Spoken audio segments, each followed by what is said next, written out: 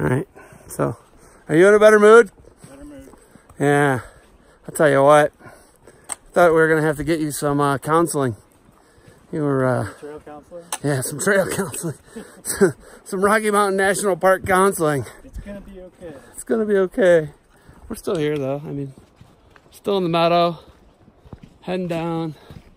Lone Pine Lake was worth it. Maybe at the time Shawn didn't think so, but uh, we got it done, right? Got it done.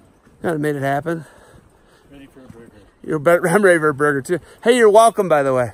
Thank you. Also, thank you to my uh, two partners, Defense Soap and Barbarian Apparel.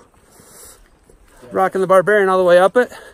Shawn's getting on the Barbarian train, right? I'm on the barbarian bandwagon. Yeah, we are. And then you defended what you built with some wipes, right?